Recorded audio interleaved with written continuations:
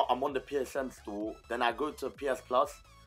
Then I go to the place where it says 14 day free trial. I click on it, and then it says uh, it says subscribe free. So I click on it. I go and add my payment method. So when I add my payment method, then after it lets me access it. So look, I added my payment method. Now it says proceed to checkout. So I proceed to checkout. I see yeah, 14 day free trial. It's zero pound. So yeah, I go on accept and continue. Then yeah, the 14 day gets activated.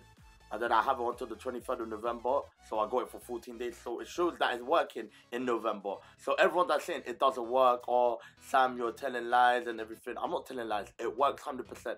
And if you don't have any problems, any um, difficulties with it, just message me and I will reply to you and I'll help you. So I hope you guys enjoyed this video. Thank you very much and take care, guys. It's been your boy Sam Roshan and peace out.